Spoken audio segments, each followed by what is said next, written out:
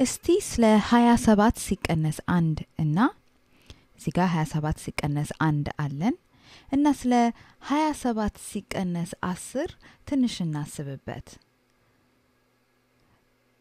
እንግዲህ አሁን ስለ የአስር ቤት የአንድ ቤት እያልን በዚህ እንደዚህ አድርገን ነው ማሰብ ያለብን። አሁን ለምሳሌ 27 የአስር ቦታ ላይ የአስር ቤት ዋጋ ያላት የትኛዋ ናት? ሁለት ቁጥር አይደለ? ስለዚህ ይሄ የአስር ቤት ወይም ሁለት አስሮች አሉ። አያችኋቸው? ተደርድረው ሁለት አስሮች። ሰባት ደግሞ የሚወክለው ሰባት አንዶች እንዳሉን ነው። አያችሁ እዚህ ጋር ሰባት አንዶች ተደርድረዋል። አሁን ሲቀነስ አንድ ስንል አንድ አንድን ነው የምንቀንሰው ማለት ነው። አያችሁ አንድ አንድን ማለት ነው። እነዚህ ነጠላዎቹን ማለት ነው። አያችሁ አሁን ሲቀነስ አንድ ስንል እቺን አንድ እናወጣለን። አሁን ስንት ቀረን? 27 ሲቀነስ አንድ። እዚህ ጋር አሁንም ሁለት አስሮች አሉን።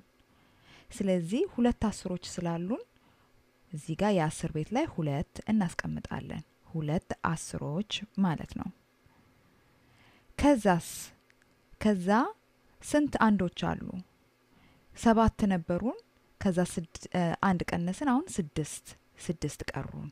ስለዚህ ስድስት አንዶች አሉ ማለት ነው። ይሄ ሁለት አስሮችና ስድስት አንዶች በጠቅላላ ምን ይሰጡናል? ሀያ ስድስት አሁን ደግሞ 27 ሲቀነስ 10 ወደሚለው ጥያቄ እንምጣ። አሁንም እንግዲህ እዚህ ጋር ያው ሁለት አስሮች አሉ ብለናል። ከዛ ደግሞ ሰባት አንዶች። አሁን ግን የምንቀንሰው ዜሮ አንዶች ነው አይደል? የአንድ ቦታ ላይ ዜሮ ስለተቀመጠ ግን አንድ አስርን እንቀንሳለን ማለት ነው። እቺ አንድ ቁጥር የአስር ቤት ላይ ስላለች አንድ አስር ነው ያለን ማለት ነው።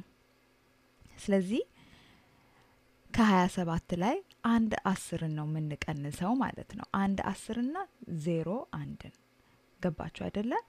አንድ አስር ነው ያለን እዚህ ጋር አንድ ቁጥር ሳይሆን አንድ አስር። የአንድ ቤት ዋጋ ላይ ደግሞ ዜሮ ነው ያለን። ስለዚህ አሁን አንድ አስር ቀንሱ ተብለናል።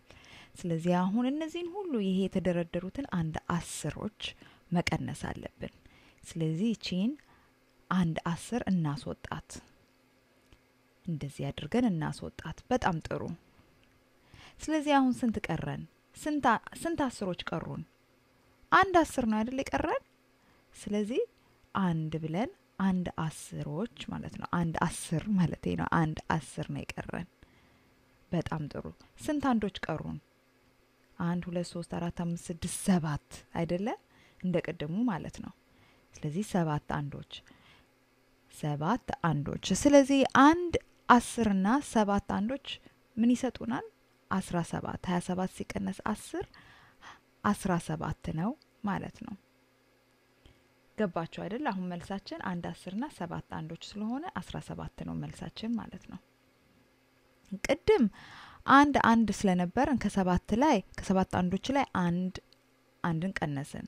ከዛ ያው የቀረን ሁለት አስሮችና ስድስት አንዶች ነበሩ። አሁን ደግሞ ከሁለት ላይ ከሁለት አስሮች ላይ አንድ አስርን ቀነስን።